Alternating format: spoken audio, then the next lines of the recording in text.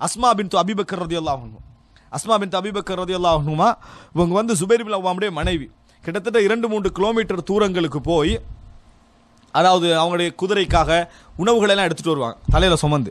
இரண்டு மூட்டு கிலோமீட்டருக்கு போய்.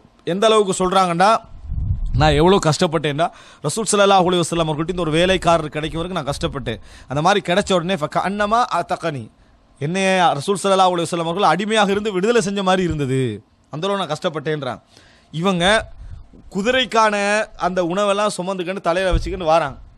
ஒரு மூணு கிலோமீட்டர் தூரத்துலேருந்து வாராங்க.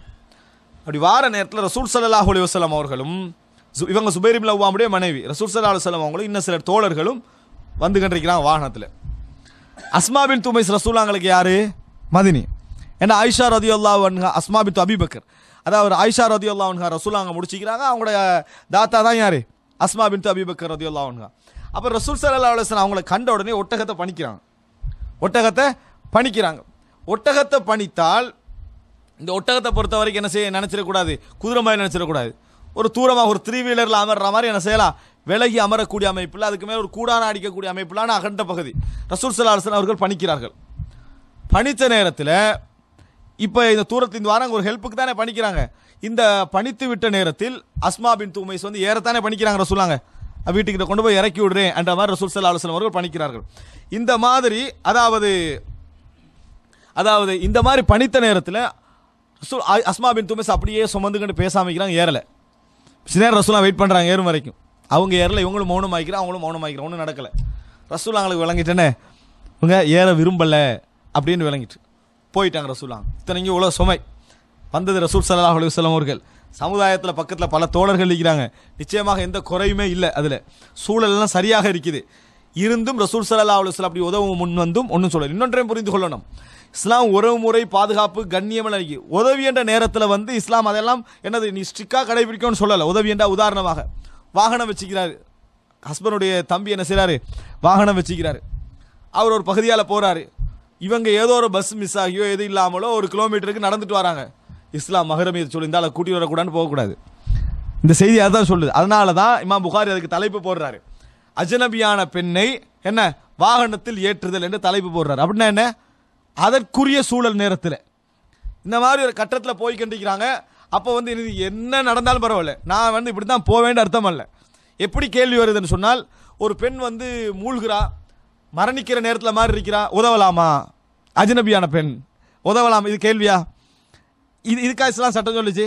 அதுக்கான சட்டம் அல்லது உதவித்தான் ஆகணும் என்பது ஒரு முஸ்லீம் இயல்பாக என்ன செய்யணும்? அந்த இடத்துல உணர வேண்டிய ஒரு விஷயம்.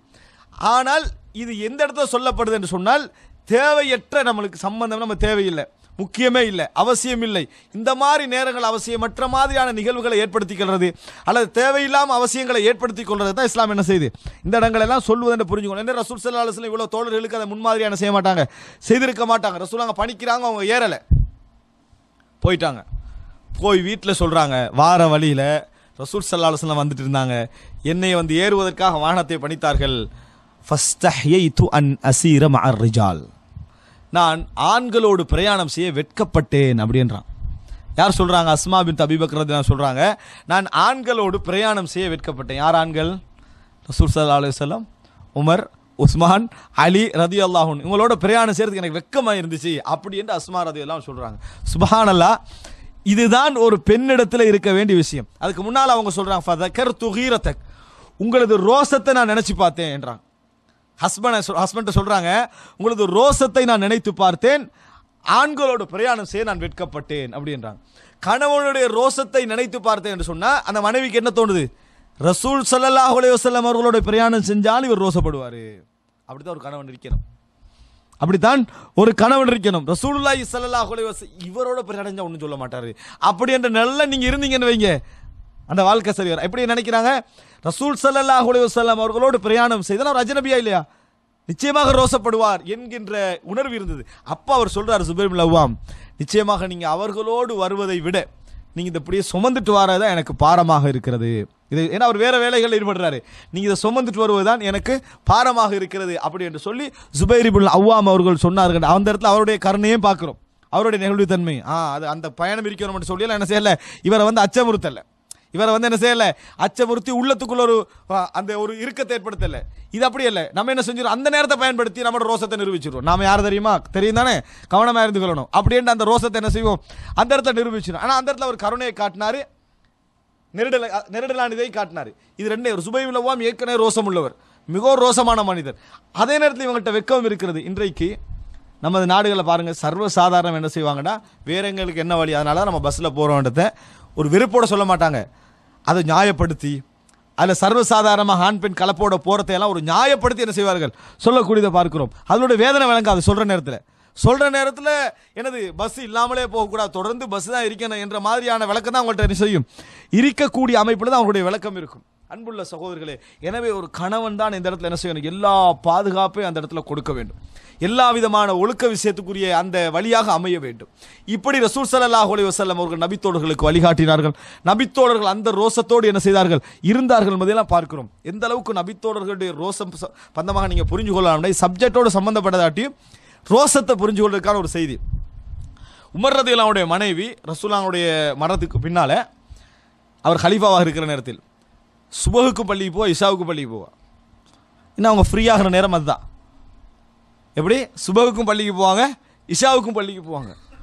உமர் ரதி அல்லாஹூன் அப்போ ஒரு ஒரு ஒரு பெண்மணி அல்லது ஒரு ச- ஒரு ஆண் கேட்குறாங்க நீங்கள் பள்ளிக்கு போகிறீங்களே உமர் எவ்வளோ ரோசப்படுறாருன்னு உங்களுக்கு தெரியும் தானே நீங்கள் சுபகுக்கு பள்ளிக்கு போகிறதுலையும் இஷாவுக்கு பள்ளிக்கு போகிறது எவ்வளோ ரோசப்படுறாருன்னு உங்களுக்கு தெரியுதாண்டு எவ்வளோ ரோசப்படுறான்னு என்ன? இஷாவுக்கு வெளியே போகிறாங்களே அப்படின்னு ரோசம் வருமா இல்லை ஒரு கா- ஆணன் அடிப்படையில் ரோசம் வரும். நமக்கு என்ன செய்யாது? அந்த மாதிரியான சிந்தனை இல்லை. இதை விடுங்க. சர்வசாதாரணமாக போகிறதே நம்மளுக்கு ரோசம் வருது இல்லை உங்கள் இஷாவுக்கு பள்ளிக்கு போகிறது யாருக்கு ரோசம் வருது?